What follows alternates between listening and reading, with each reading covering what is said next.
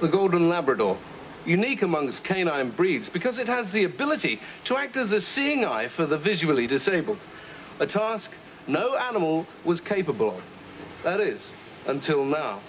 Thanks to modern training techniques here at the Animal Psychology Unit in Barnstead, the world of the visually disabled has become that much more assured since the introduction of the guide cat.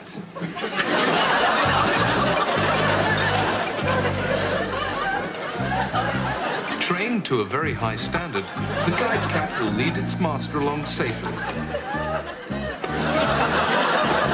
making a wide detour of natural hazards.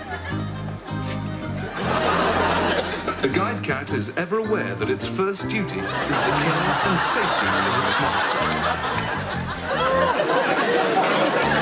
The guide cat is also trained to remain poised and calm, whatever the crisis.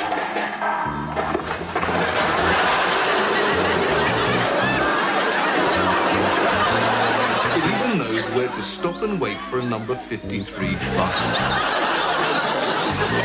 He can also calculate distances and always chooses the most desirable route home. and that busy highways can be a danger to life and limb.